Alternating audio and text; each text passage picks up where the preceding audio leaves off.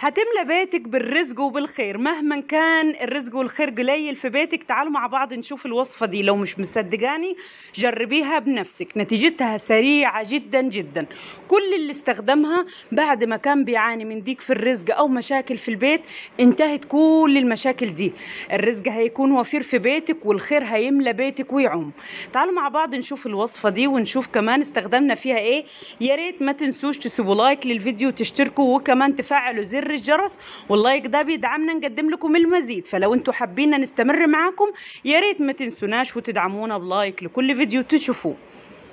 السلام عليكم معاكم قناة روحانيات ست البيت اتنين. تعالوا مع بعض النهاردة أقدم لك وصفة هتخلي بيتك كله يكون الرزق والخير فيه وفير جدا وكمان هيتملي بالسعادة وبالهنا وبالخير وكل المشاكل هتنتهي لو عندك مشاكل مستمرة أو عندك مشاكل بين ولادك وبعضيهم مشاكل بينك وبين زوجك.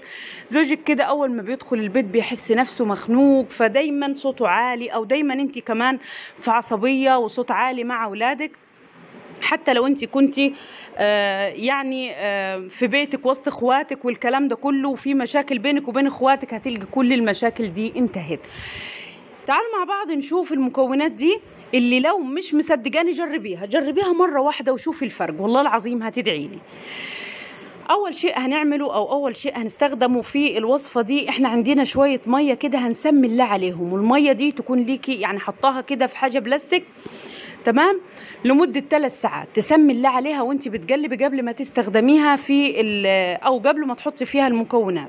هنجيب حوالي آه بصوا يعني كفة إيدك امليها كده من من الملح الأبيض وحطيها على المية. وابدأي قلبي قلبي لحد ما تلاقي إن الملح داب وكل الملح في المية مش باين ابدا.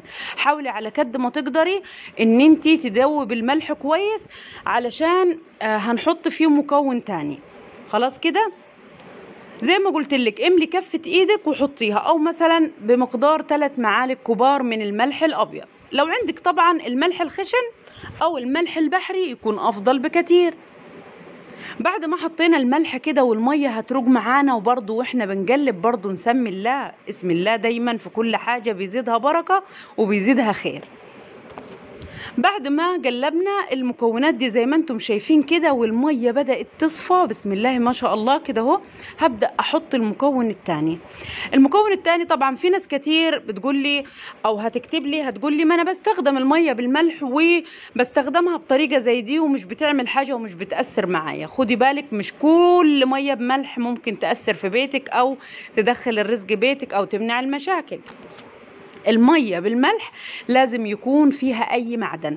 هاتي دبلة معدن أو خاتم معدن أو حتى عملة معدن أو أي شيء معدن نظيف كويس خالص ما فيهوش أي صدأ وابدأ حطيه في قلب المية بالطريقة دي اللي انت شايفاها. طبعا الوصفة دي مش هترشيها ومش هتملي بيها أرضيات بيتك ومش هتحطيها في مية غسيل الأرضيات أو مش هتحطيها على جسمك أو على شعرك أو كل الكلام ده لا.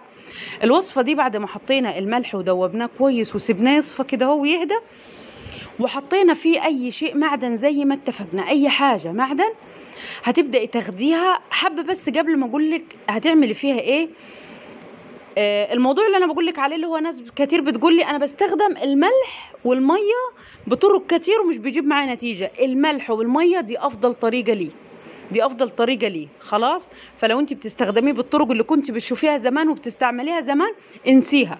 لازم المية تحطي فيها معدن وتسيبيه الوقت اللي هقول لك عليه ده. وزي ما اتفقنا الوصفة دي مش هنرشها لا على جسمنا ولا على الأرضيات.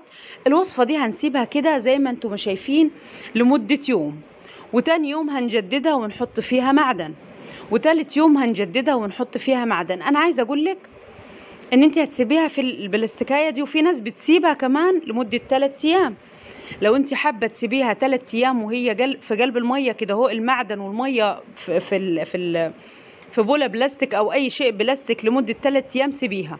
عاوزة إن أنت الموضوع ينتهي خالص هتجدد المية دي كل ما يعدي. يعني مثلا عملتيها النهارده بالليل بكرة بالليل تجدديها وتاني يوم بالليل تجدديها وتالت يوم لحد ما يعدي 3 أيام. خلاص؟ ولو أنت سبتيها ما جددتيهاش بنفس الطريقة كده سايباها وعيناها في مكان نظيف ما فيهوش أي يعني ما فيش أي إيد هتروح لها كمان هتنفع.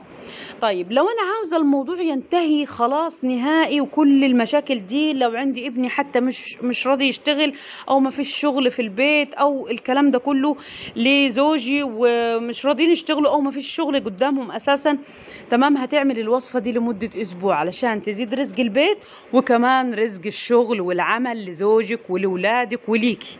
خلاص كده؟ فأغلب اللي استخدموها بصراحة وللأمانة استخدموها أسبوع سبعة أيام. لكن أنت في ثلاث أيام هتجيب معاكي نتيجة بإذن الله وكله طبعا بإذن الله. وبعد ما هتستخدميها وبعد ما عملتي كده هتبدأي تاخدي المية دي وتحطيها في أي حاجة وترشيها في مكان بعيد عن بيتك. في مكان بعيد عن بيتك والمكان ده يكون فيه تراب ما يكونش بلاط أو سيراميك يكون تراب علشان الأرض تشربه. بعيد عن بيتك نهائي هتبداي بعد المدة اللي قلنا عليها؟ ترش المية دي بعيد وتاخدي المعدن اللي فيها طبعا آه لو خاتم أو أي شيء عادي ممكن تغسليه وتستخدميه وممكن ترميه لو هو ملهوش أي لازمة عندك. خلاص كده؟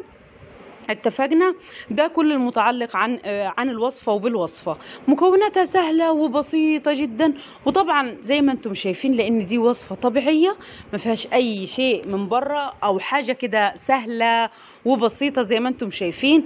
هتكرري الموضوع ده لمدة سبعة أيام أسبوع سبعة أيام عديهم على أيديكي وكل المشاكل اللي بتعاني منها سواء في الرزق أو في الشغل ما فيش شغل ليكي أو لزوجك أو لأولادك عندك ابنك دايما تعبك في موضوع الشغل ده هتلقي كل المشاكل دي اتحلت الرزق هيدخل بيتك وهيملى بيتك ويفيض تمام؟ فلازم تستخدميها لمدة سبعة أيام وانت بتاخدي المية دي وتجدديها كل يوم. والمية دي زي ما قلت لك تخلصي منها ولكن بعيد عن بيتك. أي حاجة طبعا مش فاهمينها أو أي حاجة أنا نسيت أقولها ممكن تسيبوها لي في التعليقات تسألوها في التعليقات وأنا بإذن الله هرد عليكم مش هبخل عليكم ابدا بالرد. طالما الرد مش موجود في الفيديو أو الرد أنا قادرة أرده بإذن الله خلاص آه طبعا وأنا بطول في الفيديو ليه بقى؟ عشان بقول لكم كل حاجة عن الوصفة.